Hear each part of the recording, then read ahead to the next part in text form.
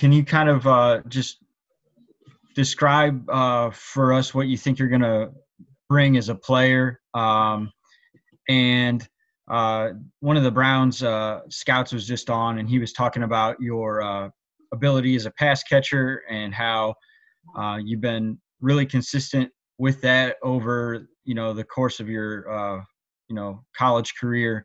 How did you mm-hmm. develop that? Uh, you know, give us some insight into what makes you uh, a guy who's known for that. Um, first off, I, I, feel like I can bring a, a, lot of versatility to the team, uh, lining up anywhere I'm asked, uh, and, and really lining up wherever, whatever I need to do to win and to help the team. And uh, really just developing as a pass catcher, uh, not playing tight until my senior year of high school. It was um, really in my freshman and sophomore years that I really focused on developing, just learning how to run routes and uh, become a better pass catcher. And a lot of help from my position coaches, uh, you know, the receiver coaches, and also the other tight ends at FAU. We had a really close bond, and and one of our other tight ends was a really great route runner, and I just got to work with him, and and he taught me a lot of good things, and and now it's uh, worked out for me. Harrison um, really impressed us throughout the the spring. I mean, starting at the Senior Bowl and then working through the combine and up to some of the uh, post combine virtual stuff we did. I mean, he's a really blue collar young man. Uh, work ethic is great. He's going to bring really good leadership.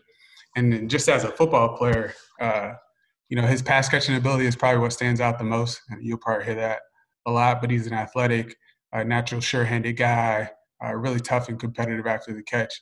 So, you know, it got to a point where we were staring at the board and, and you kind of couldn't ignore the fact that he was still up there. Extremely excited to join uh, this group of tight ends, uh, two really, really, really good tight ends. Uh, I've watched a lot of tape on Hooper as well as Njoku.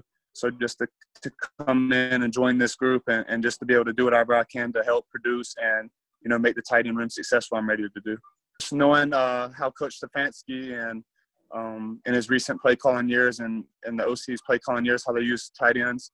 Uh, just coming into that situation with some other great tight ends uh, and just being able to be in three, two tight end sets with them is just going to be a really cool situation and just ready to go to work. I don't think we can have enough uh, good players first and foremost, and especially at that position with with the uh, some of the packages and you know sets that we're going to use in Kevin's offense.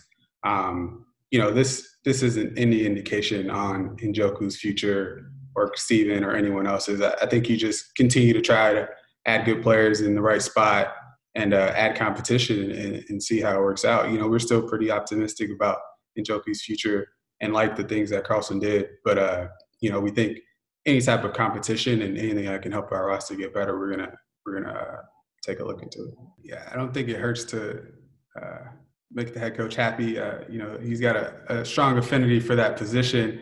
Uh, but I just think, you know, with this selection, like I said earlier, he just kind of stuck out uh, on our board based on where we had him. And uh, you know, you know, obviously we want to add talent to the roster, add competition, guys that can produce in the passing game. He kind of checked off significant uh, number of boxes, and you know that's why it kind of worked out the way it did.